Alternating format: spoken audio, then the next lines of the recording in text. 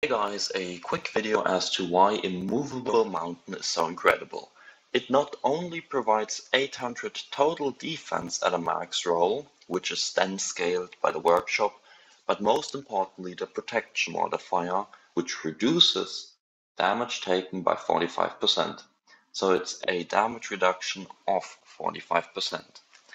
However, note that certain manuals, such as the Sky Destroyer Palm, can pierce through your armor and as such also through the damage reduction.